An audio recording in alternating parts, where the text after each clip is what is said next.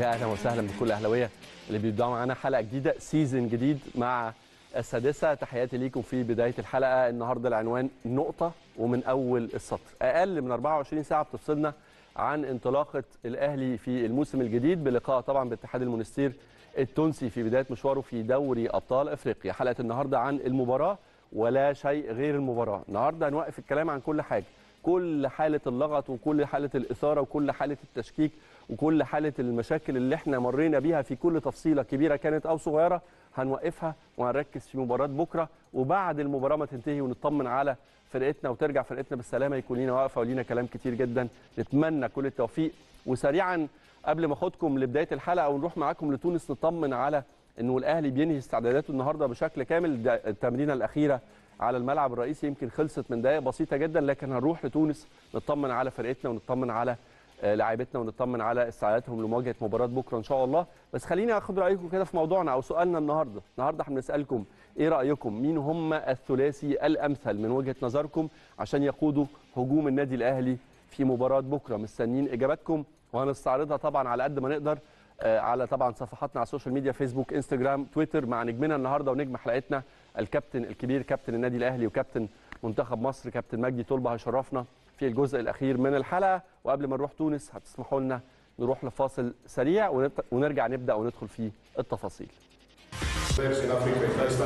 كما كانت في يومها ومش من يومها ما عنديش حتى حتى معطى يعني المعطى ما يدخلش في الاستراتيجية نتاعي وما نفكرش فيه بالكل وماهوش في برامجي باش نلعبوا ضد الأهلي اللي نعرفوها. والأهلي فريق اللي باش نحضروا له باش نلعبوا له يعني ماتش بالنسبة للسيناريو قال شوف إحنا باش نحاولوا نلعبوا الكرة بتاعنا باش نحاولوا نسجلوا أهداف. هذاك أهم يهمنا باش نمشيو لمصر. نحبوا نمشيو في حالة مرتاحين. عندنا score اللي يخلينا نمشيو لمصر في ظروف عادية في ظروف مرتاحة أكثر من عادية. وهذا هو باش نلعبوا ماتش باش لازمنا نحاولوا باش نخرجوا من مستير بأجمل النتائج أحسن النتائج على الأقل نمشيو مرتاحين للقاهرة.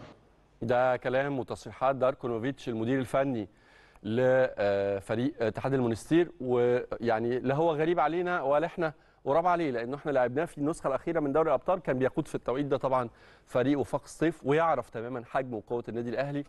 وزي ما إحنا بنشوف إنها مباراة صعبة بحكم إنها يعني في بداية موسم أنت بتبتدي أول مباراة رسمية ليك في الموسم مع جهاز فني جديد في بطولة أفريقيا.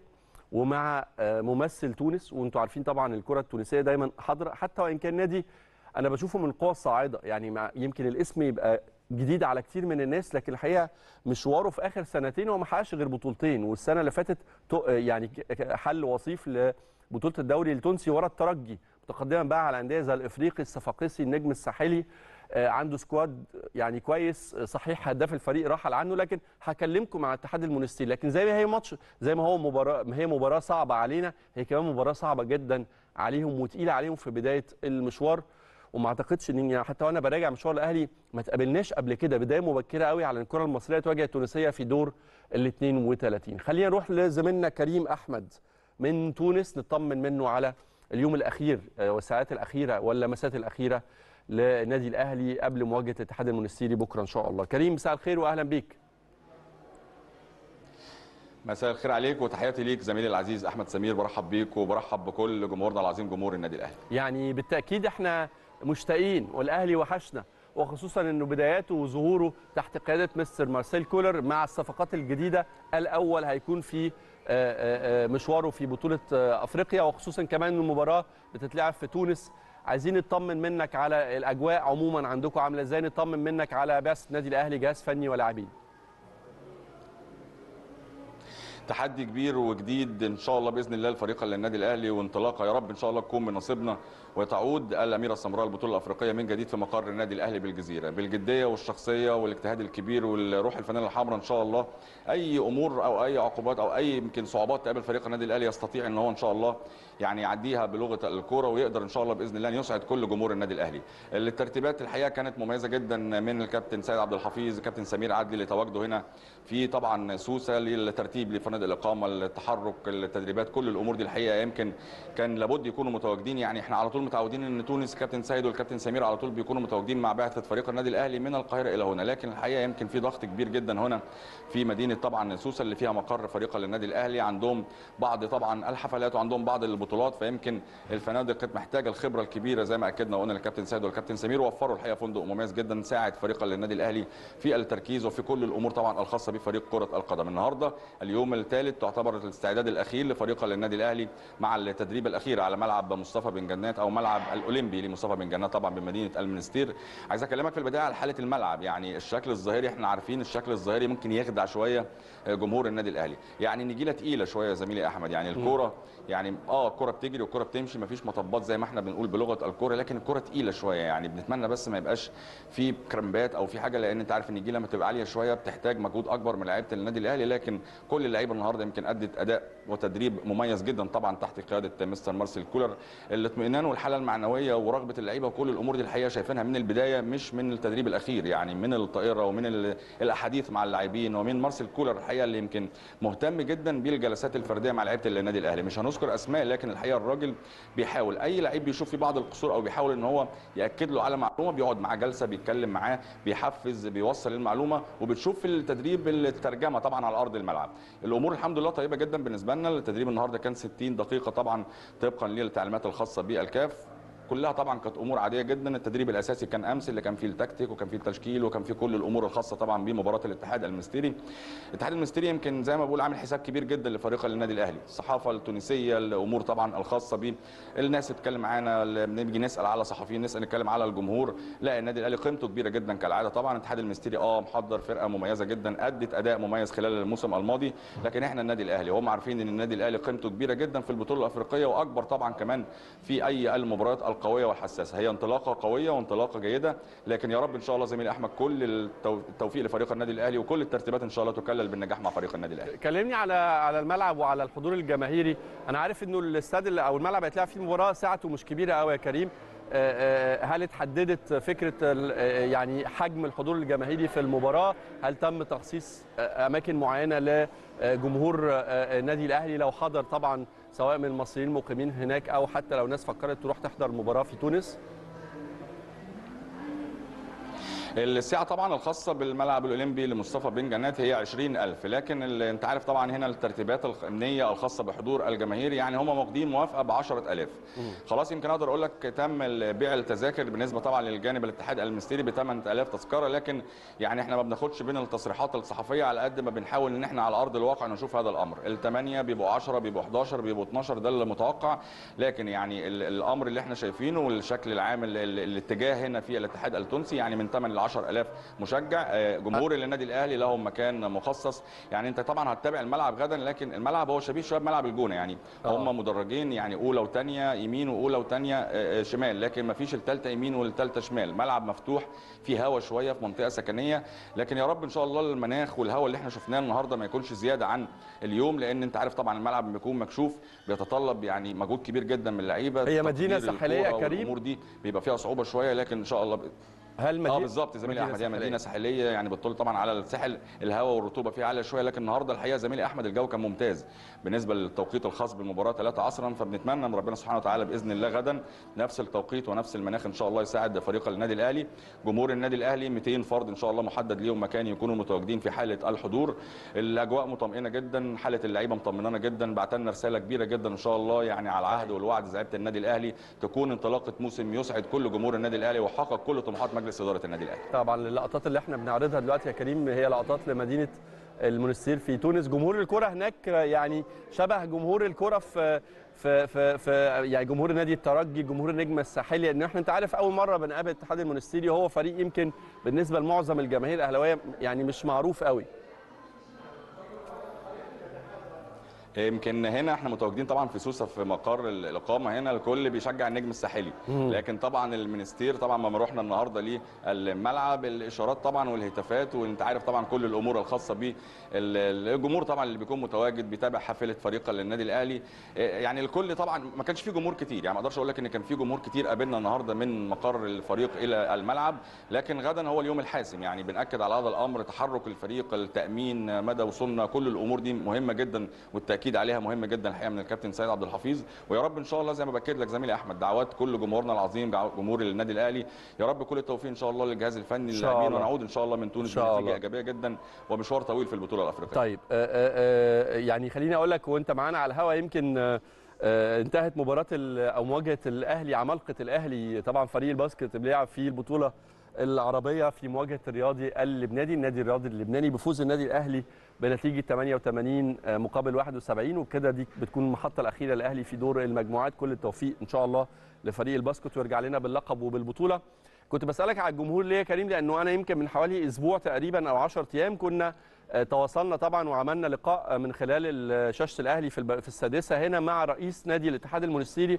وكان كلمنا على فكرة إنه آه، البوابات بوابات الملعب آه، آه، أو مدرجات المخصصه لجماهير النادي الأهلي هت- هت- هتفتح بالمجان. هل في أي خبر أو أي تأكيد على الجزئية دي؟ لأن أنت عارف وقت الجد ممكن أمور كتيرة تتغير. فبرضه نبقى عندنا المعلومة up to date زي ما بيقولوا. يعني حتى هذه اللحظة زميلي أحمد المعلومة لم تؤكد لكن يعني هي قلة العدد في المنستير ممكن يعني الايحاء كده. ممكن هو يقول لك اللي هيجي يكون متواجد لأن هو عارف إن العدد مش هيكون كبير بالنسبة للمنستير زي ما بنكون متواجدين في مطار قرطاج وبنلاعب النجم وبنلاعب الترجي. لكن كل الأمور دي الحقيقة لم تحسم لأن لسه الاجتماع الفني يعني أنت عارف الاجتماع الفني بتوقيت آه، هنا في تونس الخامسة كابتن سيد الكابتن سمير عدلي متواجدين. كل الأمور دي ممكن يتم مناقشتها ويتم أيضا كمان اتخاذ الموافقة عليها. لكن يا رب إن شاء الله حتى الجمهور حتى يعني لو حتى عدد قليل دخل الاستاد سواء بتذكرة انت عارف جمهور النادي الأهلي يعني يعني عايز يعمل أي حاجة عشان يكون متواجد وكمان تحديدا ما بتكون خارج مصر. فيا رب إن شاء الله العدد القليل المتواجد أو العدد الكبير المتواجد يعني يسمعهم ويوصلوا لفريق النادي الأهلي وإن شاء الله توفيق ربنا سبحانه وتعالى يكون معانا بإذن الله. أنا بشكرك شكرا جزيلا زميلنا العزيز كريم أحمد وإن شاء الله بإذن الله تكون بداية موفقة لفرقتنا ونجومنا بكرة. الموسم ده الحقيقة القصة مش قصة بس بطولات. آه طبعا يعني هدفنا الأساسي هدف الأهلي كإدارة وجهاز فني ولاعيبه ومن وراهم جمهور إنك تحقق كل الألقاب. لكن في كلا في كمان الحقيقة دوافع تانية. يعني هتكلم فيها النهارده مع كابتن مجدي الحقيقة لأنه آه، حالة التشكيك وحالة الهجوم المستمرة وحالة آه، ال ال ال مش عايز أقول التطاول لكن يعني في اساءات كتير جدا حصلت ارتبطت باسم النادي الأهلي ونجومه والمسؤولين عنه. في الفترة الأخيرة ولاعبي النادي الأهلي بشكل مباشر أتمنى إنها تكون فرصة كبيرة جدا للرد والوضع كل طرف من الأطراف دي في حجمه الحقيقي والطبيعي. الحقيقة سفير مصر في تونس سفير معلش سفير فهمي يمكن كان في زيارة لبعثة النادي الأهلي. طبعا كان في استقباله الوزير عمرو فاروق نائب رئيس النادي الأهلي زي ما حضراتكم شايفين كده. وكعادة الحقيقة الدبلوماسية المصرية وممثليها وسفاراتنا في كل مكان في العالم. الحقيقة يعني مجهود مشكور الحقيقة بيحاولوا من خلاله يذللوا كل العقبات المرتبطة بالمهام اللي بتقوم بيها الفرقة الرياضية في مصر. كل الشكر طبعا لمعالي السفير إيهاب فهمي. سريعا جدا كنت بقول لكم إنه المباراة طيب خلينا قبل ما ندخل في التفاصيل نروح لفاصل سريع ونرجع لحضراتكم. طيب قبل ما نفرد المساحة مع حضراتكم لمباراه بكرة وأنا عارف إنه يعني إحنا يعني كل الناس قاعدة من دلوقتي مستنية مواجهة الأهلي أو ظهور الأهلي الأول الموسم ده. الصفقات الجديدة مستر مارسيل كولر شكل الأهلي. وأعتقد إن واحدة من من أهداف مارسيل كولر بكرة إنه يعبر عن شخصية الأهلي تحت قيادته يظهر مع الأهلي حتى وإن كانت مباراة خارج الأرض وحتى وإن كانت مع منافس قوي هو الاتحاد المونستيري التونسي إلا إنه طبعا عنده رغبة في إنه يعلن عن نفسه وعن قدراته وعن شكل الأهلي تحت قيادته. الصفقات الجديدة عندها من الدوافع اللي تثبت جدارتها في أولى مشاركتها مع النادي الأهلي. والأهم من ده إنها رسالة للكل رسالة طمأنة ورسالة تضع حد لكتير من الأمور اللي فاتت. يعني أنا الحقيقة عندي وقفة كبيرة جدا مع مع مع اللي حصل في الفترة الأخيرة. ويمكن مهم جدا زي ما ابتديت الحلقة وقلت إنها نقطة من أول السطر إن إحنا نقفل على اللي فات كله. واللي جاي يبقى فيه تركيز كبير جدا لغاية لما نوصل على الأقل لموسم الانتقالات الشتوية. وما أعتقدش إنه عندنا تحديات كثيره جدا. يعني باستثناء انطلاقة مشوار أفريقيا. وبطولة السوبر. الأهلي ما عندوش تحديات من العدد تقيل مفيش تخوف على لقب يضيع أو بطولة ممكن تكون بعيدة عن آه، آه، الأهلي إنه يوصل ليها. لكن في النهاية خلينا نرتب اولوياتنا وخلينا نشوف رأي كمان مجدي كابتن مجدي طلبة النهارده في كتير من الموضوعات اللي أثيرت في الفترة الأخيرة آه، وتأثيرها على بداية مشوار. خدوا بالكم إنه الحاجات اللي بتحصل في الفترة الأخيرة دي بالتأكيد ليها تأثير. يعني ونتمنى نتمنى إنه إحنا نتفادى ده في انطلاقة مشوارنا في دوري الأبطال وإنه آه، الجهاز الفني وكابتن سيد عبد الحفيظ ومستر مارسيل كولر يبعدوا لع- باللعيبة ويمكن من حسن حظنا. يعني ناس كتير جدا كانت يعني متخوفة من فكرة أول ماتش يبقى بره وأول ماتش في تونس يمكن ده على فكرة يكون من حسن الحظ. وحتى زي ما الراجل اتكلم يعني ما سمعنا داركونوفيتش كان بيتكلم على الأهلي راجل واضح تماما عارف قدرات الأهلي حتى والأهلي جاي له في ملعبه حتى والأهلي جاي يلعب وسط في ملعبه في وسط جمهوره عارف تماما حجم النادي الأهلي وعامل الأهلي مليون حساب. إحنا ما تقابلناش مع فريق تونسي قبل كده في دور ال 32 يعني كل مواجهاتنا لما ترجع تبص ال 10 ل 12 سنة الأخيرة آه، اللي فاتت واللي قبلها لعبت مع آه، النيجر بطل ممثل النيجر لعبت مع رواندا لعبت مع زيمبابوي لعبت مع إثيوبيا مرتين لعبت مع جنوب إفريقيا مرتين لعبت مع كينيا. فإحنا نادرا نادرا مش متذكر الحقيقة إنه الأهلي واجه آه، آه، فرقة تونسية في آه، بداية المشوار. لكن خلينا نتفق في النهاية إنه يعني على البطل إنه يتجاوز أي عقبات أو أي صعوبات أو أي مباراه مباريات ممكن تكون صعبة بصرف النظر عن اسم المنافس. الاتحاد المونستيري مش من عمالقة الكرة التونسية لكن الحقيقة تقدر تقول إن هم إن هو من القوى الصاعدة. يعني لما تبص على مشواره في آخر سنتين الفريق ده بالمناسبة معهاش غير بطولتين. هو بيشارك ال- السنة دي في دوري الأبطال عشان هو وصيف بطل الدوري التونسي اللي هو الترجي السنة اللي فاتت. لكن برضو أرقامه والموسم اللي فات وإنه يجي ورا الترجي كوصيف للبطولة بفارق نقطتين تقول لك لا إنه فريق مش بالهين. يعني مش فريق بس سهل على الإطلاق. قيمته التسويقية تقريبا مقربة من حوالي 10 مليون يورو. بالتالي يعني واضح إنه الإدارة بتاعه النادي استثمرت بشكل جيد جدا وجابت صفقات مهمة جدا في السنوات الأخيرة. متوسط أعمار اللاعبين عندهم في حدود 24 سنة أو 25 سنة 24.9 بالتحديد. آه، يوسف العبدلي كان مهاجم الفريق السيزون الأخير لكن ده احترف. مشي في شهر يونيو اللي فات راح لاهلي جدة. عندهم من اللعيبة ال- ال- المميزة زياد العلوي عندهم حسام تقى دول اللعيبة اللي يمكن يلفتوا الأنظار بشكل كبير أو اللي ممكن يكونوا مصادر خطورة على النادي الأهلي في مباراة بكرة. لكن استعراضي لشكل الأهلي طريقة اللعب التشكيل هيختاره مستر كولر رأيكم مازال مطلوب طبعا في فكرة الثلاثي اللي هيقود هجوم النادي الأهلي في مباراة الغد وهنطرحه ونستعرضه معاكم وناخد فيه رأي نجم حلقتنا النهارده. كابتن مجدي طلبه بس بعد ما نروح لفاصل ونرجع لحضراتكم.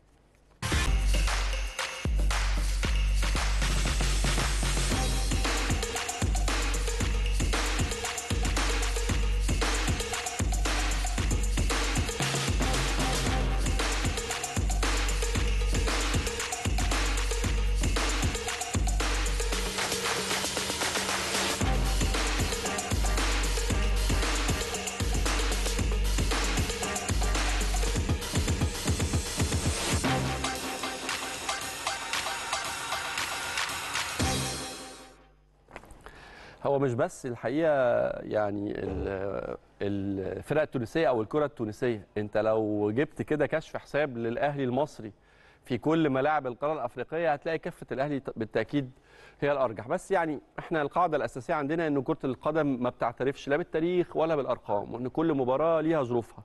وزي ما المباراة دي صعبة علينا عشان بتتلعب آه، في أول انطلاقة في أو أول مباراة رسمية في بداية الموسم وأول مباراة لمستر مارسيل كولر اللي بيكتشف بيها مش بس آه، آه، الكره في مصر لكن كمان الكره الأفريقية. مباراة خارج الأرض آه، جمهور يعني جمهور الاتحاد المنستيري هيكون حاضر بالتأكيد بقوة. لكن زي ما هي صعبة علينا هي بالتأكيد كمان صعبة عليهم. وتعالوا نفرد ورقنا كده ونتكلم في سيناريو مباراة بكرة. ليه صعب علينا وليه صعب عليهم؟ وإزاي ممكن الأهلي يتجاوز الصعوبات اللي هتواجهه في ملعب اتحاد المنستيري بكرة إن شاء الله في أول مشوار في بطولة أفريقيا مع واحد من نجوم النادي الأهلي ومنتخب مصر كابتن مجدي طلبة بشرفنا النهارده في السادسه مساء الخير يا كابتن مجدي. أهلا بيك وحشنا كتير جدا جدا جدا. ونستمتع بيك دايما. وخليني قبل بس ما أتكلم على ماتش بكرة إزاي شايف يعني تقييمك لفترة آه، آه، الفترة اللي تولى فيها مستر مارسيل كولر المسؤولية؟ شايف ساعات الأهلي عموما للموسم الجديد مش بس الماتش بكرة إزاي؟ شايف صفقات الأهلي اللي دعمت بيها إدارة النادي الأهلي صفوفه إزاي ودورها إيه في بداية المشوار بكرة إن شاء الله؟ طب دي أسئلة كتير. الأول. تقييم عام للمرحلة كده يا كابتن مجدي طيب آه، مبدئيا آه، مستر مارسيل كو- كولر آه، إحنا، آه، مش هنقدر نتكلم على أي حاجة من النواحي الفنية. أيوه. لأن إحنا لسه ما اتفرجناش أو ما شفناش. إنما التصريحات اللي كان اللي بتخ- بتخرج وتصدر عنه كلها تصريحات تنم عن راجل عنده قدرات عالية. أيوه. وقدرات آه، ذهنية وفنية كبيرة جدا خاصة في آه، تعامله في ال في ال أو آه، طريقة طرحه للاختيار ومواصفات اللي عاوزها في البوزيشنز أو في اللعيبة اللي في المراكز المعينة اللي. بيبقى عاوزها. يعني لما يتكلم على راس حربة عاوز راس حربة مهاجم يكون سريع جدا آه، مش بد... ويكون آخر تل... آخر سنتين بدون إصابات عنيفة وبمشاركات كبيرة وبنسب تهديف مقبولة مم. دي بتوريك راجل بيفكر آه، من واسع. ما عندوش حدود ضيقة لأنه لأن المواصفات اللي بتتقال دي دي هتوسع للي للي بي بيختار. ويفاوض المجال مش بيزنقوا ويحصروا في في أسماء معينة وده شيء آه، أعتقد آه، ينم عن إنه راجل عنده آه، خبرات جيدة جدا أيوه زائد عنده ثقة في النفس بشكل كبير جدا. لما يجي يقول لك إنه مش بالضرورة يكون جايب أهداف بنسب عالية قوي إنما نسب مقبولة ده دليل على إنه عنده عنده ثقة في قدراته هو ككوتش إنه هيطور منه في طريقة شغله أو في بالنسبة لطريقة اللعب بتاعته أو في تطوير القدرات اللعيبة العموم يعني. هل تعتقد إن الفترة اللي فاتت دي اللي تخللها ثلاث ماتشات ومباريات ودية كافية لإنه الهيد كوتش يقدر يقرأ إمكانيات ال- اللعيبة يعرف آه، آه، إزاي يوظفهم يعرف إيه نقاط القوة ونقاط الضعف يعني يمسك القماشة اللي معاه يقدر يبقى مالك أدواته بشكل كامل ولا تحتاج وقت لسه. ويحتاج مشاركة في ماتشات رسمية أكتر قطعا لسه قطعاً لسه. إنما هو هياخد بياخد صورة أو ياخد بياخد إيقونة كده. عامة. أيوه. إنه التيم بتاعنا ده مثلا آه، بيت- بيتميز بالنواحي المهرية. آه، عنده هيحط إيده على بعض نقاط الضعف اللي هي مثلا آه، ال- النواحي البدنية عندنا مش مش مظبوطة. وهو اتكلم فيها. أيوه. دي الصور العامه اللي يقدر يبص لها. إنما القدرات بتاعه اللعيبة هتظهر له آه، أسبوع بعد أسبوع. يعني مم. ممكن يكون شايف النهارده مجدي يلعب في الحتة ال position ده ومع الوقت يشوف إن مجدي لا يقدر يلعب في ال position الثاني آه. فدي دي أكيد بتاخد وقت. إنما ثلاث ماتشات أو الفترة العموم اللي هي الشهر دي غير كافية. إنما هتدي له زي ما قلت لك آه، صورة عامة بإن ال team اللي معايا طبعا هو أكيد عارف مين النادي الأهلي. قبل ما يجي إنما دي هتدي له صور صورة عامة بقى لل... لل... لل... للوضع العام بتاع ال team اللي هو شغال فيه من من زي ما قلت لك بوضع إيده على النقط نقاط الضعف اللي اللي اللي موجودة اللي لازم يقويها وأعتقد إن هو بدأ يتكلم فيها وأنا عندي بعض ال- المعلومات ان هو اتكلم مع الناس على على الايه التحديد بقى عايزه مش كل حاجة هتتقال في في الميديا. أيوه. و هي أنا بيتهيألي كمان إنه يعني من حسن حظنا إنه الموسم ده متقسم بالشكل ده. إحنا مفترض إنه بالمناسبة هو بكرة هتكون برضو قرعة الدوري آه، قرعة مفتوحة مش موجهة ومفترض إنه بعدها بأربع أو خمس أيام هيتم الإعلان عن جدول الدوري. لكن أقصد أقول إنه من هنا لغاية الميركاتو الشتوي من هنا لغاية يناير فترة قليلة هيكون فيها بطولة كأس العالم. فالمسابقات في معظم أنحاء العالم ممكن هتكمل عندنا في في في توقع أو اقتراح إنه الدوري يكمل. عندنا يتلعب فيه ثلاث ماتشات أثناء أثناء. فتره كأس العالم بس معظم البطولات في العالم هتبقى واقفة في التوقيت بالظبط. ده. فبالتالي آه، هيبقى عندك فترة قليلة جدا بس لغاية يناير عشان تبتدي. واحد يكون هو قرا اللعيبة بشكل كبير وأعتقد دي هتكون فترة كافية. اثنين تقدر تحدد احتياجاتك. ثلاثة هيبقى التوقيت مناسب لأنه سوق انتقالات على العالم كله هو تقدر تعمل هو. قال كده. آه.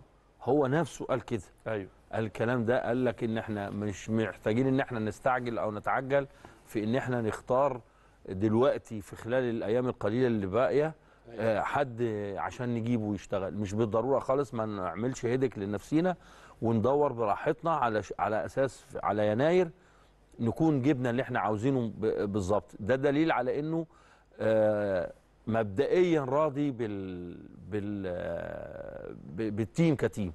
أيوه مبدئيا راضي بالقصة اللي موجود فيها كلها. عنده satisfaction باللي شايفه. عنده تفاؤل بالفترة اللي جاية. والسويسريين عموما آه، زي الساعة آه، أكيد منظمين آه، يعني. من- منظمين أيوة. ومن لا من الشعوب كمان المتفائلة جدا أيوه يعني لما تيجي تتكلم مع أي حد عن عن ليا اصحابي يعني أعرفهم ما يعني في عز الصعوبات ما تلاقيش ما تلاقيهوش آه، آه. أيوة. عنده عنده دايما تفاؤل إنه في حلول وإنه في يقدر عشان عنده دايما يعني. دايما عشان عنده دايما فكرة الشغل لا هو كمان وال- ال- يعني كان م- ملفت بالنسبة لي وأنا بتابع يعني الترشيحات أو المفاوضات مع مارسيل كولر. أنت عارف حضرتك سويسرا مش مش دولة من من من الدول الكبيرة في أوروبا في كرة القدم. فكان بالنسبة لي ملفت جدا إنه مدرب سويسري يطلع يشتغل في ألمانيا يلعب في البوندسليجا يدرب فرقتين في البوندسليجا وبعد كده يروح يدرب منتخب النمسا. ويلعب بطولة Champions League ويلعب بطولة ويوصل منتخب النمسا اليورو فإنه ده يحصل من مدرب سويسري ده معناه إن إحنا قدام يعني كفاءة أو قدام قدرات برضو محترمة جدا. السويسريين ك ك ك ككورة آه ك team ك teams يعني ما عندهمش حاجات كبيرة في الكورة أيوة. إنما مشهورين بحاجتين بيخرجوهم من السنين الأخيرة الحكام. والمدربين. مم. عندهم عندهم مدرسة تدريبية جيدة طبعاً. لأنهم فايلر جه هنا كان كان معظم ال- اللي هتلاقيهم مدربين سويسريين هتلاقيهم كانوا شغلهم في ألمانيا. مم. لأن هم قريبين جدا من, من ألمانيا, ألمانيا. ففي منهم كتير لعب في ألمانيا. فهم دول اللي لما بيكملوا في الكورة بيختاروا التدريب وبيشتغلوا بيبقوا بيبقوا حاجة كويسة وعلامة كويسة. يعني أوتمار هيتسفيلد رمز التدريب في في في, في ألمانيا. كان معظم شغله في سو في, في سويسرا. ف المدرسة السويسرية كانت تدريب لا لأنها إيه، قريبة جدا من المدرسة الألمانية بتعتمد على ال- الانضباط والأداء ال- ال- الجماعي التكتيكي ال- ال- المنضبط. إحنا إحنا لسه خلينا أكلمك شوية عن الناحية المعنوية يا كابتن مجدي. لسه ما قلناش بسم الله الرحمن الرحيم. الموسم لسه ما ابتديناش ما ابتديناش فيه. ورغم كده الفترة اللي فاتت اسم النادي الأهلي ارتبط في تفاصيل كتيرة جدا وبعضها للأسف تفاصيل صغيرة جدا بحالة توتر بكم كبير جدا من الإشاعات مرتبط بالصفقات مرتبط بعقد الرعاية مرتبط بدور مجلس الإدارة في الميركاتو أو في سوق الانتقالات. فرقة الكورة لعيبة الكورة بتبقى الحاجات دي واصلة لها ولا جوه النادي الأهلي القصة غير وبيبقى فيه انفصال تام وخصوصا إن إحنا بداية المشوار يعني برضو صعب يعني إحنا مش لا مش مش هنبتدي بكرة ماتش ماتش في الدوري إحنا هنبتدي بكرة في دوري أبطال ويا إما تكمل يا إما تخرج بره بص آه الحاجات دي ممكن كان زمان نقول إنها آه، شوية يوصلوا أو شوية. أو آه. شوية ما توصلش أو اللعيبة المتنفذة الكبار هم اللي بيبقوا عارفين الكواليس وبقية اللعيبة ما يعرفوش انما في العصر اللي إحنا عايشين فيه ده كل الناس عارفة كل حاجة مم. ال social media ما بتسيبش حاجة لحد ما يعرفهاش إنما هنا آه، آه، دور واستراتيجية النادي الأهلي وعقيدة النادي الأهلي في الشغل و و و وتاريخ النادي الأهلي في الشغل. هنا مدير دور مدير الكورة دايما. كابتن سيد. أكيد. آه كابتن سيد قايم بدور مهم جدا جدا في السنين الأخيرة. خبراته ما شاء الله بقت آه خبرات راجل كهل في. سنه الشباب الصغير ما شاء الله. فيقدر إمتى يظبط ويضبط ال- الإيقاع بتاع اللعيبة ويقدر إمتى يستغل ده استغلال إيجابي. لأن اللي اللي, اللي أنت شايفه ده كله السلبي اللي أنت شايفه ده كله بي بيتحول لإيجابي آه، بطريقة ما بطريقة دوافع يعني، تحوله لدوافع. بالظبط كده. آه. بالظبط كده. كنت أنا قلت لك قبل كده الكلام دوت إن في, في, في أيامنا إحنا كانت الميديا بتكتب علينا إن إحنا آه، كذا كذا كذا. مم. كلام كلام سلبي جدا وإن التيم الثاني بيلعب بروح بروح الفانيلة النادي ال- الأهلي الحمراء آه. وهكذا. ف- فجه كابتن ثابت قعد معانا وراح مورينا الكلام ده كله. اتفضلوا الكلام اللي بيتقال واللي عايز يرد يرد. مم. يرد في الملعب طبعا. طبعا. آه. واللي مش هيقدر يرد يبقى يبقى براحته ويبقى المكان بتاعنا مش ما يسعهوش. فدي بتبقى بتبقى نقط يقدر كويس جدا مدير ال- الكورة يقدر يستغلها استغلال إيجابي. بالإضافة لإن الموسم ده يا أحمد هيبقى موسم بداية المواسم العاصفة القادمة. مم. دي وجهة نظري. متوقع إن المواسم اللي جاية بعد كده عاصفة؟ آه. آه، من من, من آه. ناحية إيه؟ يعني من, من كل؟ النواحي. من- ليه بقى؟ لأني اولا المنافسة احتدت جدا آخر سنتين. مم. ما كانتش قبل زي السنين اللي قبليهم. أيوة. دي نمرة واحد نمرة اتنين عدد الأتيام إحنا إحنا إحنا عايشين في الجو ده من ساعة بيراميدز من ساعة دخول بيراميدز. ما ننساش ده إيه، السنت السنتين الأخرانيتين آه تيم نادي الزمالك آه تفوق ووصل لم- لمستويات ما كانش ما كانتش موجودة الفترات اللي قبل كده نمرة ثلاثة آه أنت شايف معلش اسمح لي أقف معاك في النقطة دي لو اتكلمنا على آخر موسمين تحديدا محليا لأنه إحنا الحقيقة في الموس... في نفس المواسم دي آه، عالميا يعني تألقنا وتوهجنا. حتى بما فيهم الموسم الأخير ده إحنا نص السيزون الأولاني ما كانش في حد بيقف قدام النادي الأهلي. بالظبط. مظبوط؟ آه، هل شايف إنه ال... ال... ال... نهاية الموسم أو الجزء الثاني من الموسم كان في... في ظل ظروف طبيعية؟ يعني اللي حصل ده نتيجة فعلا تراجع مستوانا وتطور مستوى المنافسين ولا كان في عوامل تانية برضو أدت للنتيجة دي يا كابتن؟ في عوامل تانية. في عوامل في عوامل تانية. بس لو التيم التاني المنافس مش آه مش متطور وإحنا ما كناش آه تراجعنا أيوه ما كانش هيحصل النتائج دي. آه. إن إنما هم استغلوها لأنهم اتطوروا. تمام. لأن قبل كده المواقف دي حصلت وما ما عرفوش يستغلوا. المواقف. تمام. وكنا إحنا اللي بنكسب. متوقع المنافسة السنة اللي جاية تبقى آه أصعب طبعا هتبقى من الموسم أصعب. ده. هتبقى أصعب. آه. لأن دخول فرق آه آه بيراميدز السنة دي غير بيراميدز السنين اللي قبل كده. آه فيوتشر دخول في team زي فيوتشر بي انت بتتكلم بيسخن. على إنه الماتشات صعوبتها هتبقى درجتها أعلى طبعا. ولا بتتكلم على منافسه المنافسة على اللقب يا كابتن؟ يعني ما بتقول بيراميدز أو بتقول فيوتشر شايف الأندية دي ما هو, تقدر تنافس ما على هو اللقب؟ دي ما هو دي مفتاح دي. آه. المنافسة الشديدة هي مفتاح المنافسة على اللقب. لأن أنت أنت أنت. مين اللي خد الدوري السنة اللي فاتت؟ الزمالك. الزمالك خد الدوري. نتائجك إيه معاه؟ كسبت مرة وتعادلت مرة. يعني أنت خسران منه point واحد. إيه إيه أنت أنت كسبان منه أربعة كسبان point منه 4 point. آه. وهو واخد مني point واحد. وهو واخد واخد مننا point. مظبوط. وهو اللي خد الدوري. أيوه. يبقى إحنا خسرانين الدوري من إيه؟ من المنافسات الثانية. وحاجات ثانية يعني إحنا على فكرة بالمناسبة آه. يعني رغم رغم اعترافي يعني ابصم بالعشرة كده إنه الأهلي السيزون نص الموسم الثاني كان مستواه متراجع جدا عانينا من الإجهاد والإصابات وكورتنا ما كانتش حلوة. أنا متفق مع حضرتك في كده. بس لما تيجي تبص للأرقام وأنا بحب دايما لغه الأرقام تلاقي إنه الأهلي خسر الدوري أعتقد بفرق ست نقاط. ست نقاط دول لو كان في 50% عدالة تحكيمية في ماتشات الأهلي كنا خدنا أحمد. الكلام ده بيحصل معانا بقاله كتير. آه. مش السنة اللي فاتت مش السنة مش الموسم اللي فات ده بس. لا وحصل قبل كده كتير. طيب أنا قلت أول الموسم ده أنا لا عايز أحط في حساباتي ال- ال- التحكيم يعني حتى لو الحكم ده بقى أنا عشان كده آه. معلش أنا عشان. كده أنا عاوز إني أنا أشيل من ذهن كل حد في النادي الأهلي وكل حد بيشجع النادي الأهلي وكل حد مرتبط بالنادي الأهلي خاصة اللعيبة أيوه.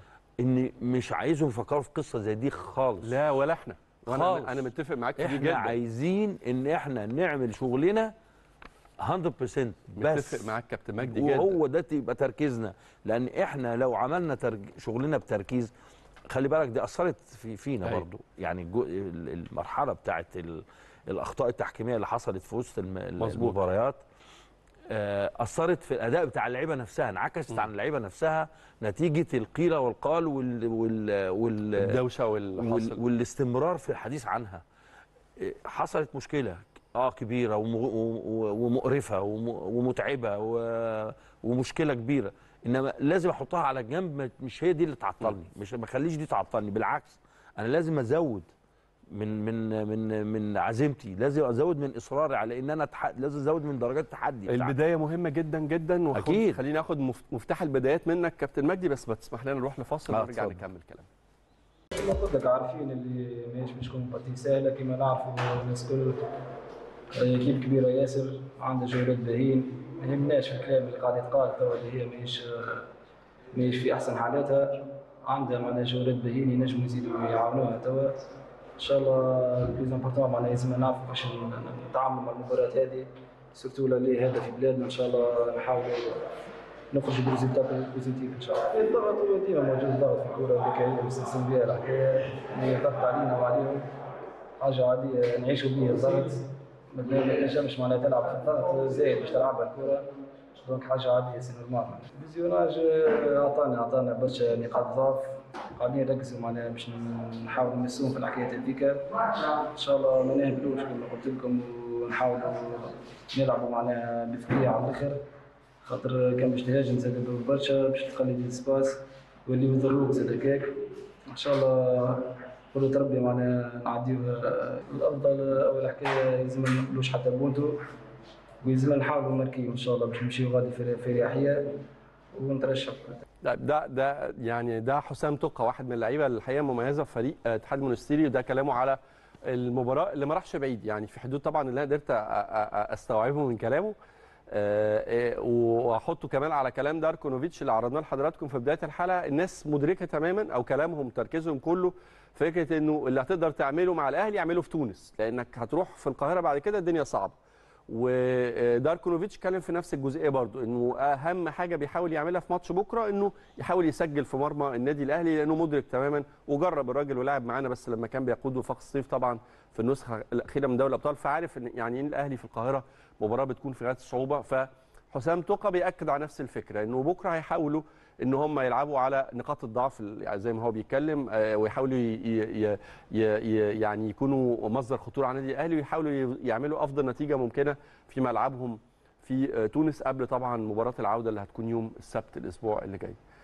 مباراة صعبة عليهم برضو. بيتهيألي زي ما هي صعبة على على مارسيل كولر وعلى لاعبتنا لأنها بداية موسم. يعني قصة بس مش حسابات فنية مش مش قياسات بين قدرات فرقتين وقدرات أجهزة فنية. توقيت المباراة فرض صعوبة هو آه، ده أصعب حاجة توقيت المباراة هو أصعب هو حاجة حاجة. نظرك. آه بس إحنا بالنسبة لنا كمان في فكرة إنك بتلعب بره في تونس آه، الملعب والجمهور وهم بالنسبة لهم إن هم بيلعبوا في 32 مع الأهلي يعني يعني جاي في حظهم آه، عملاق قارة أفريقيا في دور ال 32 فهي كل فريق من الاثنين عنده صعوبات مختلفة شوية عن الفريق الثاني طيب هو team النادي الأهلي اللي موجود حاليا ال squad اللي موجود ده كله عنده خبرات جيدة جدا في اللعب خارج الأرض أيوه لأنه آه كل اللعيبة تقريبا اللي موجودين ما عدا اللي دخلوا الجداد شادي و شادي ومصطفى وبرونو سافيو. و- آه، يعني برونو سافيو راجل professional بيلعب في أي حتة مش فارقة برازيلي. بقى آه يعني، آه، مش آه. فارقة معاه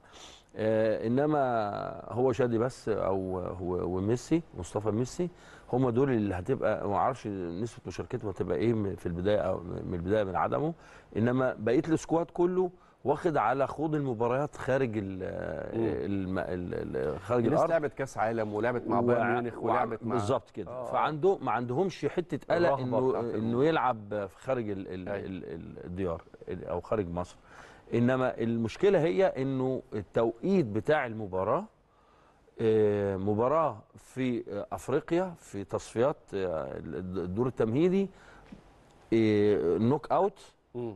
فبتبقى هي دي اللي عاملة نوع من أنواع ال- ال- القلق شوية لانها بتبدأ بتبدأ بيها ال season. يعني انت ما بدأتش مثلا أربع خمس مباريات في الدوري وبعد كده رحت رايح لاعب آه. أو انت زي ما كنا بيحصل قبل كده ما كانش الدوري بتاعنا لسه خلص مم. وبنبدأ في ال في ال في البطولة الأفريقية الجديدة فأنت بتبقى رجلك لسه في ال field إنما أنت واخد راحة وراحة كبيرة. ما تنساش إن إحنا لعبتنا مدينهم راحة آخر آه، حوالي ست ماتشات سبع ماتشات. كانوا. محتاجينها يا كابتن مجدي. أكيد محتاجينها. أكيد محتاجينها مليون في أيوة. المية. إنما في الآخر هي راحة بعيدة عن الماتش. أكيد ذهنه دلوقتي أصفى. أكيد حركته هتبقى أفضل. أكيد آه، اشتياقه للملعب أفضل. لكن مش. النقاط ال- النقاط المهمة أو النقطة الإيجابية كمان إنه الكل عاوز يثبت جدارة ال- الكولر.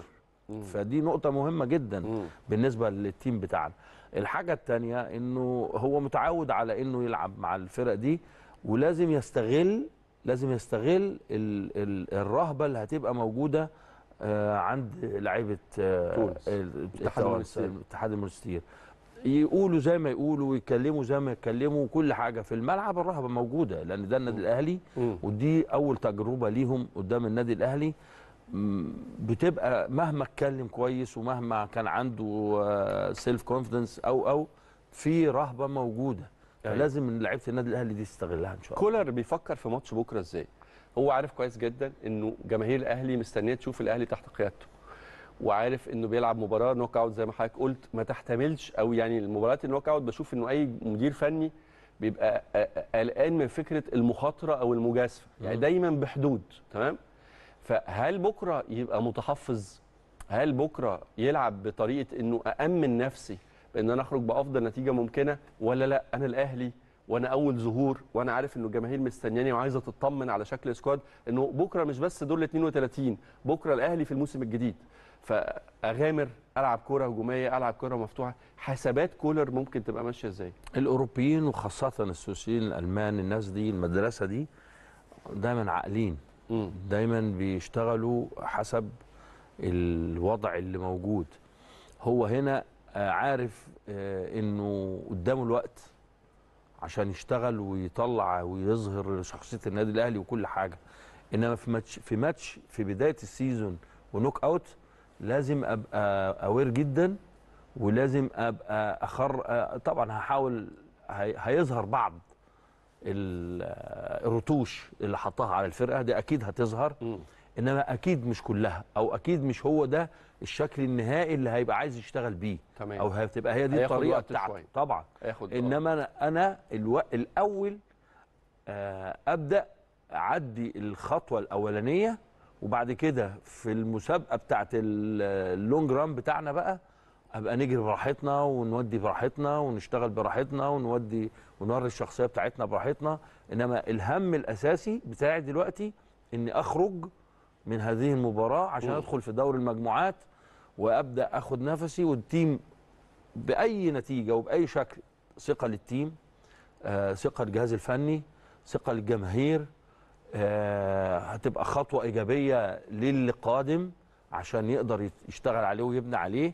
وأكيد هيبقى زي ما قلت لك هيبقى في حاجة بتتعمل هو قايلها الرتوش هتبان. أيوه. الرتوش هتبان. أيوة. يعني ريشته اللي حاططها هتبان. هتبان.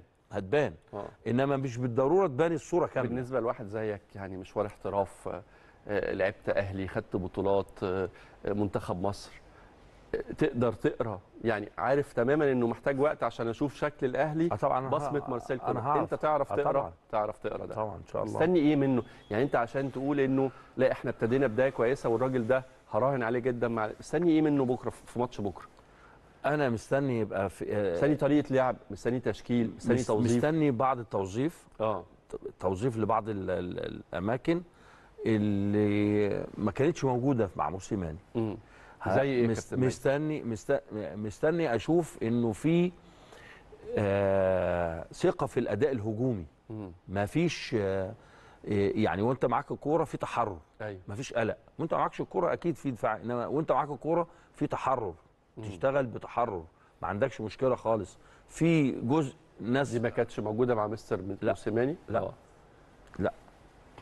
لا ما كانش في تحرر خالص طبعا. آه. لا هو وهو ده اللي خلى فيه آه م- مش عايز أقول سوء مستوى بس ناس كتيرة ما كانوش في مستواهم لفترة طويلة. لفترات طويلة عكس ما كانوا قبل كده أو في بداياته أو كانوا مع فايلر أيوه كانت النواحي والطاقات كانت متفجرة جدا وكانت باينة جدا النواحي الهجومية بتاعه سين وصاد مش عايز أسمي أسامي يعني مم. كانوا كانوا من النواحي كانت النواحي الهجومية بتاعتهم فعالة أكتر فاعليه وأكتر إيجابية. طب بما إنك ذكرت حتة الهجوم عايز آخد رأيك في نقطتين. هجوميا الأهلي السنة دي بالتأكيد مختلف لسببين واحد هو أكتر خط في خطوط الأهلي الثلاثه اللي فيه ازدحام في أسماء النجوم اللي موجودة أسماء اللاعبين اللي موجودة. عندك وفرة كبيرة جدا مش حاصلة في خط النص ومش حاصلة في خط الظهر. ثانيا إنه معظم صفقات الأهلي كمان اللي, داخلة جديد واللي عايزة تثبت أكيد جدارة. أنا بعتبر كهربا صفقة جديدة. بعتبر برونو سافيو صفقة جديدة. طبعا أكيد شادي حسين ومصطفى ميسي. فبالتالي في صفقات جديدة دخلت على squad حجم المنافسة في كل مركز بقى شديد جدا وبالتالي مفترض إن ده جماعيا يصب في مصلحة الأهلي هجوميا. أكيد مليون في المية. شايف ده إزاي؟ وشايف تأثيره على الأسماء اللي موجودة إزاي؟ طيب آه وهتختار لي بما ان إحنا النهارده سؤال الحلقة كمان افضل ثلاثة يقودوا خط هجوم النادي الاهلي. بكرة اسمع رأي أنا هسمع رأيك في التشكيل كله لأنه شايف واحدة من الحاجات برضو علامات الاستفهام الكبيرة عند مارسيل كولر. بس خلينا بما انك ذكرت الناحية الهجومية نخلص الحتة دي. يعني هو الناحية الهجومية كانت عندنا فيها مشاكل ال- الس- ال season اللي فات خاصة في ال- ال round الثاني ال- أنا كنت شايف إن مع موسيماني في طول الوقت كان عندنا مشكلة في الجناحين. في الجناحين. آه كان عندنا مشكلة في الجناحين. في توظيفهم ولا في إمكانياتهم؟ في اللي موجودين. آه. في اللي موجودين وطريقة الأداء وطريقة الشغل بتاعت بتاعتنا في الجناحين. دي كانت مشكلة. وأنا أعتقد إن دي من الحاجات اللي لفتت نظري في كولر إنه حط إيده على القصة دي وإنه اتكلم في القصة دي. إن. إحنا عندنا مشكلة في الحتة دي والحتة دي عايزين عايزين نطورها. وبدليل إنه الطلبات اللي موجودة إن المهاجمين يكون منهم جناحين. أيوه. عايزين منهم جناحين. جناحين. آه، لأن شغل الجناح مختلف تماما عن شغل لعيب بتاع وسط الملعب. مم. يعني آه، الجناح بمسمى الجناح. أيوه. لأن إن- في شغلي دلوقتي ما تيجي تكلم أي لعيب آه، بتلعب يا ابني بلعب وسط ملعب. وسط الملعب يعني 8 ولا 9 ولا 8 ولا 6 ولا, ولا 10 ولا آه. ولا 10 لا بلعب 7 و11 طب 7 و11 دول wings هم المفهوم اللي عندهم دلوقتي إن 7 و11 دول لعيبة وسط ملعب أساسا. لا هم لعيبه لعيب المفهوم ده طالما وصل يبقى في نقص في في المعلومات في نقص في في في التوظيف في نقص في إني ادي المهمة بتاعتي كما ينبغي لاني لما أقول 7 و11 دول wings على طول مم. wing يعني لازم يكونوا طايرين طب خليني أسألك ب... ب... ب... ب... بنظرتك أنت يا كابتن مجدي هل في آه لعيبة أنا مش عايز أذكر أسماء بس يعني عايز أتكلم على ال case نفسها هل في لعيبة ممكن تبقى مع مدرب مطفية قوي مع مدرب تاني في نفس ال position أو حتى لو تعمل لها repositioning تغير مركزها في الملعب تلاقيهم في في حتة طبعاً. تانية خالص طبعاً. القصة مش قصة إمكانيات قصة لا تعامل- امكانيات آه. بس كيفية توظيف الإمكانيات ديت. آه. يعني هي إمكانيات. أكيد هي إمكانيات. لازم تكون مرتبطة بالإمكانيات. بس أنا شايف إن الإمكانيات دي أوظفها آه، في الحتة دي. ب ب يعني إيه إمكانيات؟ عشان نوضح للناس حاجة بسيطة جدا. المواصفات بتاعت اللعيب الفلاني بتاعت أحمد إنه عنده سرعات كويسة إنه دريبلر إنه آه بصير. فسرعات كويسة ودريبلر وبصير أخده جناح. في واحد تاني يقول لك لا أخده من نص وسط الملعب. هنا هتفرق في إيه؟ هتفرق في إن التمركز ال ال ال الأساسي أو ال ال الرئيسي بتاعي هو اللي بيحدد خط مدى خطورتي أنا مم. في الملعب. يعني لما أحطه في وسط الملعب يبقى أنا ببعده عن منطقة ال 18 بنسبة 20 30 متر.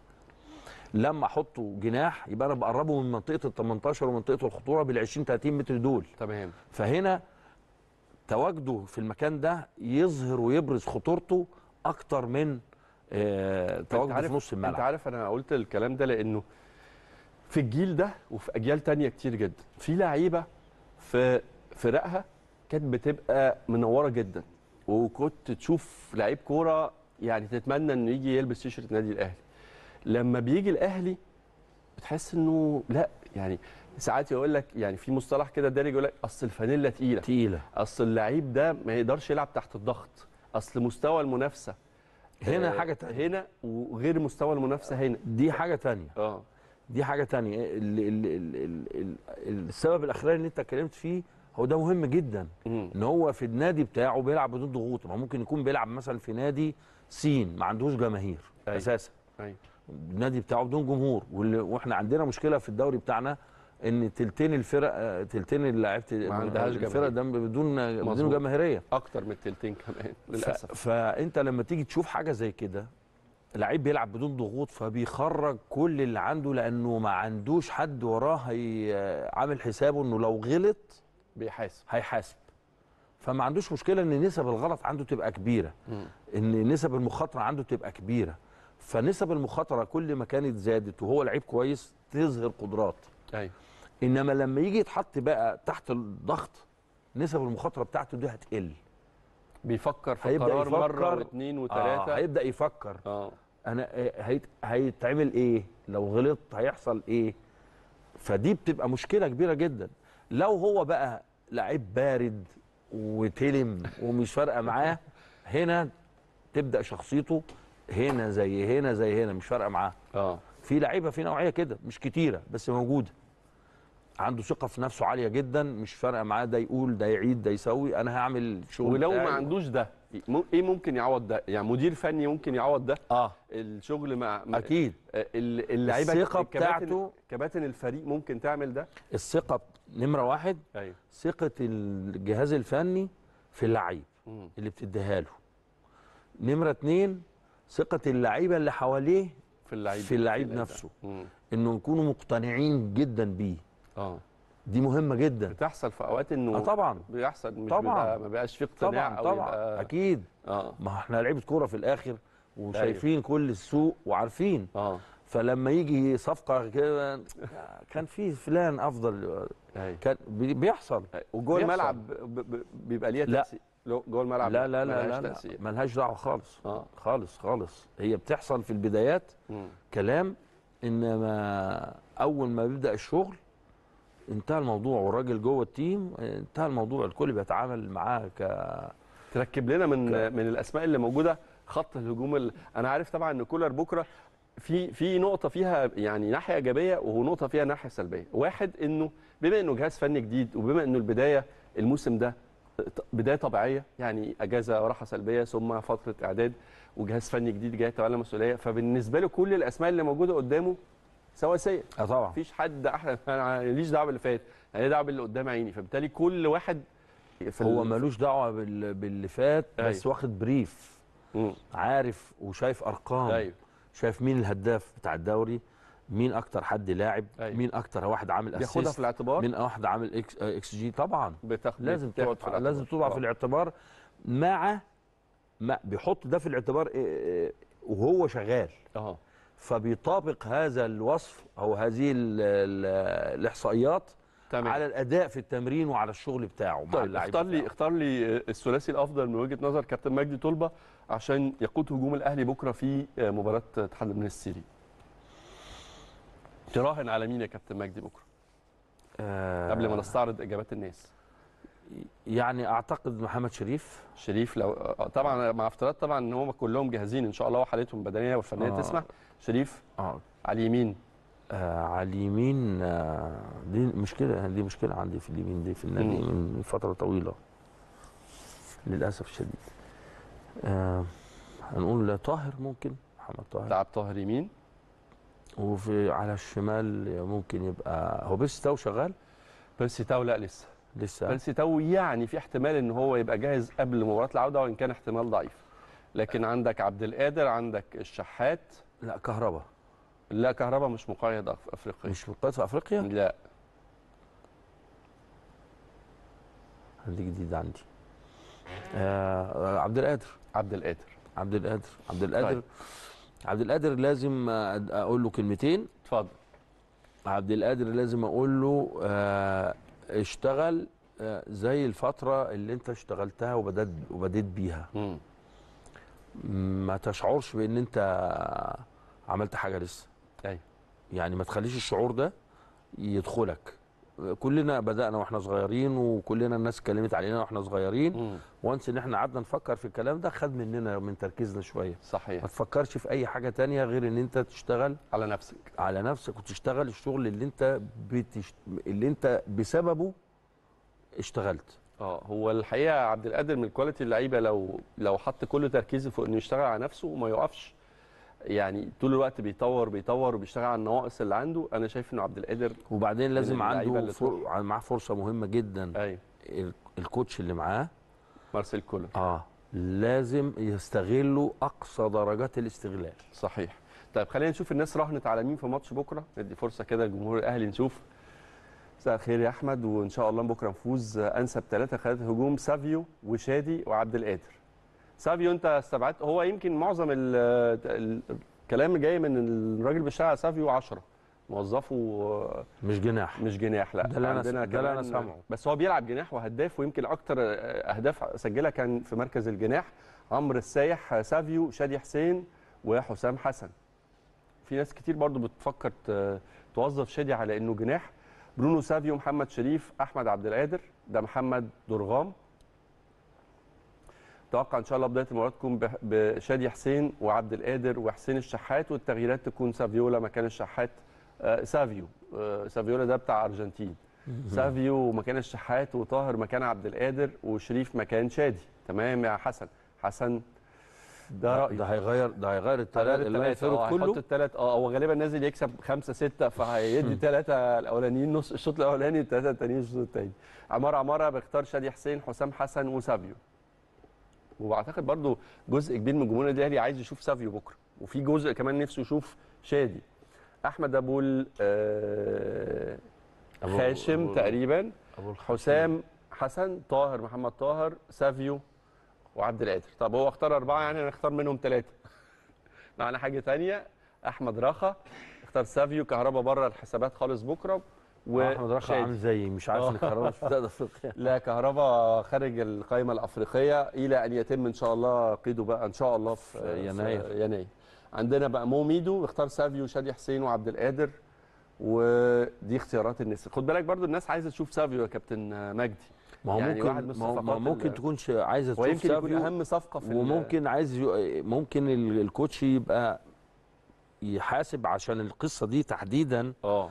انه يحافظ عليه ويبدأ يبداوا يشتغل بيه هنا. امم لأن الماتش اللي هنا هيبقى نسبة الهجوم بتاعته أكتر نسبة ال ال الشغل ال- ال- اللي على الم- ال- المرمى المنافس هيبقى أكتر من هناك. ممكن يكون هناك هيحتاج أجنحة تشتغل بشكل إيجابي إنما مساعدين جيدين في في النواحي الدفاعية أيوة. عند خسارة الكورة. وارد جدا إنه يبقى آه، الصفقة اللي هو ما أنا ما أعرفش هو هو إيه علاقته بالصفقة ديت. هو اللي جايبه أو هو اللي موصل لا بيه؟ سافيو جه قبل قبل مارتينيز هنا ما تب... أنا بقول كده ليه؟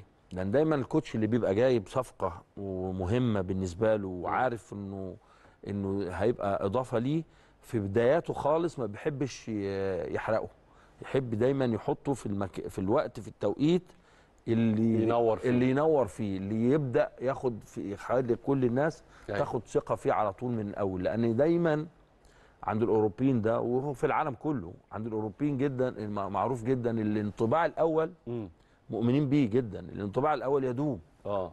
فأنا عايز الانطباع الأول اللي ياخده الجمهور عن سافيو يبقى إيجابي.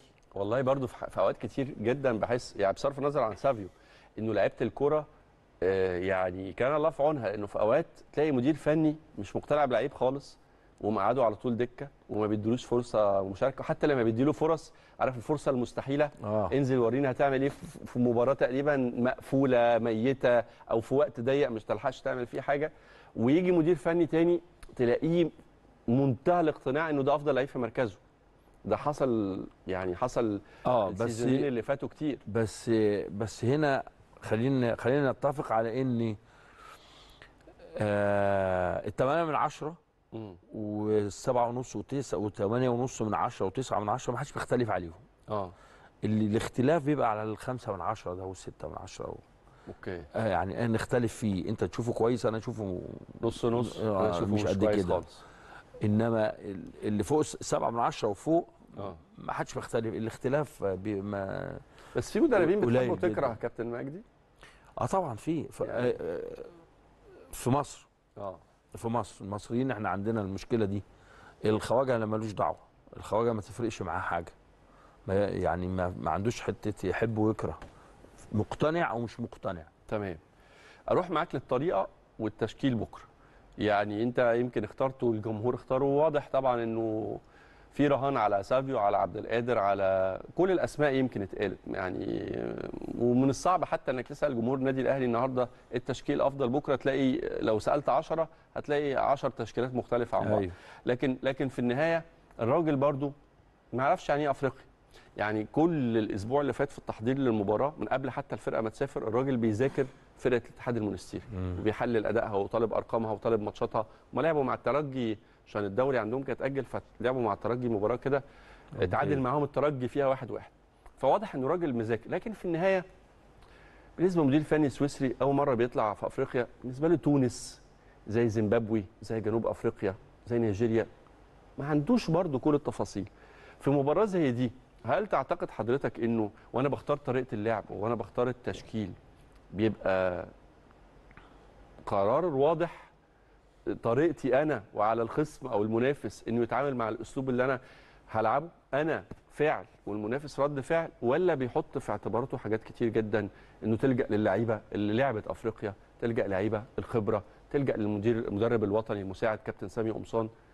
الطريقة أو التفكير في الطريقة والتشكيل قبل ما ما ما تشوف الطريقة الأنسب والتشكيل الانسب أنا هنا أعتقد إن هو خد جرعة كافية من سيد واسامه وسام أكيد. آه. لأنه زي ما انت بتقول إن هو دخل على تجربة جديدة في أفريقيا مش تجربة جديدة كمدرب لا أيوة. تجربة جديدة كأجواء. آه، أكيد هيتقال له خاصة إن مباراة الفرق التونسية مع الفرق المصرية دي ليها special case طبعا أكيد هيتقال له إنه آه، هو أكيد عارف الفرقة ديت أول مرة بتشترك في بطولة. أفريقيا أكيد آه، دي هتبقى بالنسبة له آه، شيء آه، مش مش مهم بالنسبة له قوي إذا كان جديدة أو قديمة أو كبيرة أو صغيرة إنما أنا بعتقد إن هو هي, هي زي ما قلت لك هيبقى فيه رتوش هتبقى باينه لنا من الطريقة اللي هي اللي هو عايز يشتغل بيها أكيد هو عايز يخلي التيم من وجهة نظري الشخصية أيوة من. النجاحات بتاعته اللي عملها دي كلها ألا وهي لا يمكن حد يعمل النجاحات دي بدون ما يفرض أسلوبه هو جوه ال- الملعب النجاحات اللي عملها بره رجوعا لمشوار الأهلي في أفريقيا وأنا هستثني أفريقيا لأنه أفريقيا دايما كانت بت بيحصل فيها السيناريو ده كتير ومع مدارس كورة مختلفة يعني كان دايما مثلا في السيزون الأخراني واللي قبل الأخير حتى النسختين اللي إحنا فوزنا بيهم كان موسيماني على حسب كل مواجهة تلاقي الأهلي بيلعب بطريقة شكل. أيوة. تشكيل شكل مم. مرة نلعب 4 3 3 مرة 3 4 3 مرة 4 2 3 3 1 صح؟ يعني مرة 3 حسب. 5 2 ومرة 3 5 2 فكنا بنلعب يعني بطرق مختلفة حسب طبيعة المواجهة وحسب طبيعة المنافس. الأفضل للأهلي عموما يعني مش بس عشان ماتش بكرة. وده اللي إحنا اتعودنا عليه حتى في جيلكم والجيل اللي بعد منكم والجيل قبل منكم إنه الأهلي بينزل بطريقته ما هي دي بقى. النقطة اللي أنا كنت بتكلم فيها. آه. وهي دي أكتر نقطة عملت ارجحه وعملت انبالانس للعيبة جوه التيم آه. وفي عدم المستوى. للعيبة نفسها. طبعا. آه. طبعا. ما أنا هلعب النهارده 3 4 3 طب الماتش اللي جاي هلعب 3 5 2 طب الماتش اللي بعده 4 4 2 3 1 مش هي دي شخصية الفرق الكبيرة. مش هي دي يعني النهارده قفشة في الطريقة دي. غير الطريقة دي غير الطريقة دي. مظبوط. وساعات حتى لما كان بيتغير مركز قفشة في الملعب تحس إنه قفشة بره مش موجود. بره الماتش خالص. مش. موجود. أيوه. طيب أنت كده يبقى أنت ما درستش سيكولوجيه اللعيب اللي معاك. في لعيب آه، مرن عنده مرونة تحطه هنا تحطه هنا تحطه هنا نفس الأداء. وفي لعيب ما عندوش المرونة دي. أيوه. يبقى يبقى يبقى إذا أنا لازم الشغل بتاعي يبقى بناء على ال quality اللي موجود معايا على ال material اللي موجود معايا. دي نمرة واحد. نمرة اتنين ال team الكبير اللي هو النادي الأهلي اللي هو عنده 10 بطولات في أفريقيا اللي هو سيد القارة ما ينفعش ألعب رد فعل على سين وصاد وعين. ما ينفعش. خاصة إن أنا عندي ال squad اللي يخليني أشتغل بأي بأي شكل أنا أشتغله أو بأي استراتيجية أنا أحطها وأبني عليها وأشتغل وأستمر فيها. ما عنديش ما عنديش مشكلة في في في النقطة دي. لا يعني ال- الاتيام اللي بتشتغل الطرق المختلفة ديت بتشتغل بناء على إنه عنده نقص في الحتة الفلانية أو في البوزيشن ال- ال- ال- ال- ال- الفلاني أيوه. أو نقص في النواحي في جنب من الجناب فأقدر أعوضه بشكل معين بالطريقة. إنما لأ إيه، المفروض إن النادي الأهلي هو اللي يشتغل زي ما بنشوف في كل الفرق الكبيرة هو اللي بيشتغل بيعمل الاستراتيجيه بتاعته بيبني الاستراتيجية بتاعته واللي قدامه هو اللي بيشتغل عليه طالما أنا في. في التوقيت المناسب بتاعي ما بتكلمش على أول الدوري أو في ماتش زي الماتش بتاع بكرة. زي ما قلت لك ماتش بكرة ده ممكن أنا أشتغله بالطريقة دي إن أيوة. أنا عايز أعدي بس عشان أخش بعد كده في دوري الأبطال أبدأ. أفر... بس كده افرض افرض الأسلوب بتاعي وشخصيتي ونبدأ نشتغل لأني أنا جديد على ال team وال team أيوة. جديد عليا وداخل على على موقف ما ينفعش فيه الاسم على اتنين عشان أكمل لازم أكسب مظبوط فعشان أكسب لازم أحافظ على آه، نظافة شباكي أو آه، أطلع بأكبر نتيجة إيجابية موجودة أكسب إن شاء الله في في في في, في, الملعب بره وبعدين المكسب بكرة. يدي دفعة معنويه لل team كله. وللجهاز الفني طبعا أكيد وهو آه. على فكرة هو هي النتيجة الأقرب إن شاء الله بإذن الله إن شاء بكرة. الله بإذن الله مش مش مش موضوع تفاؤل. و و و وكلام حلو وجميل أيوة. لا إنما هو الأقرب النتيجه الاقرب. هو إن الأهلي يكسب إن شاء الله بإذن إن شاء الله. تشكيل أمثل من وجهة نظرك لو كله اللعيبة واصلة لحالة بدنية وفنية جيدة في بداية موسم؟ آه، الطريقة والتشكيل أمثل من وجهة نظر كابتن مجدي في ماتش زي ماتش بكرة؟ هو من الواضح إن هو بيشتغل 4 3 3 مم. الفرق الكبيرة مع ولا ضد أنت؟ الأول. لا أنا جميل جدا. مع. طبعا. مع. 4 3 3 من خلي بالك. أهل التكتيك عموما من زمان الزمن في أوروبا يعني 4 3 3 دي من أسهل الطرق اللي تتعلم اللي ك- اللي تشتغل بيها آه للعيبة. يعني للعيبة. للعيبة من أسهل الطرق اللي أنت تقدر تشتغل بيها اللعيبة طالما توفرت فيها المقومات بتاعتها. والوحدات بتاعتها لأنها طريقة سهلة جدا طريقة هجومية جدا. آه، طريقة بتقدر تستغل فيها آه، في آه، في التنوع بتاعها كتير اللي تخ... اللي ما... أي أي coach في الدنيا بيعمل تكتيك أساسي مم. واثنين ثلاثة جنبه آه، احتياطيين يغير حسب plan سيناريو B plan آه، C حسب سيناريو الماتش حسب سيناريو المباراة استقبلت تت- تتع- بالظبط. تتعدل إزاي سجلت تتعدل بالظبط إزاي فدي التنوع بتاع ال 4 3 3 جد... كتير. واللعيبة سهلة إنها تتحول منه ل... لل... لل... للبدايل ليها. للبدائل بتاعته. فدي دي مهمة جدا. إحنا عندنا اللعيبة دي آه عندنا اللعيبة دي محتاجين تاني محتاجين تاني في. إن شاء الله بإذن الله يكملوا آه، في يناير آه، عندنا المساكين آه شناوي طبعا. لو بتسألني يعني على آه ال team شناوي طبعا نبتدي بشناوي الشناوي آه back يمين أنا ما أعرفش حاله أكرم آه، عشان مش متابع كويس. اكرم شارك ولعب الثلاث ماتشات أو يعني آه، خد في الثلاث ماتشات إن, إن أكرم آه، هو يبدأ-. الأقرب. ال- انه يبدأ. بالرغم من إن هو لسه راجع من ال- الإصابة. تمام. إنما ثقتي في أكرم وثقة الجمهور في أداء أكرم أكرم من اللعيبة ما بيفرقش معاه بقى كان متعور ولا ما كانش متعور ما شاء الروح الله عندهم عنده عالية هو. عنده عنده روح عيله عالية. التوفيق كلها عندها أيوة، عندها أيوة. النيرف. ده عندهم ده. النيرف ده آه عندنا الاثنين المساكين هيبقى في آه ياسر مم. وايمن ياسر وأيمن آه ما تبتديش بعبد المنعم ماتش بكرة آه، ال- الماتش آه، عبد المنعم أحيانا بيتصرف تصرفات آه، فيها ثقة زايدة شوية. ده مم. طبع فيه مش أيوة. هو مش بيعمل كده تعالي ولا لا هو ده أيوة. طبع فيه. طريقة لعبه يعني. آه فالماتش بتاع بكرة مش مستحمل حاجة زي دي. مم. عايز البدايات بتاعتنا تبقى في تبقى سيف واضحه خالص. وصريحة وسهلة. سيف خالص. تمام. فتراهن على ياسر و- وأيمن. وأيمن. تمام. وعلي. وعلي معلول. آه.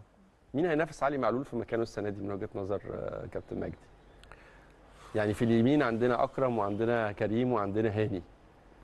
والله أنا أعتقد إنه هي اللي هينافس آه، علي برضه هيبقى كريم. هيبقى كريم. آه. كريم فؤاد. كريم فؤاد. آه.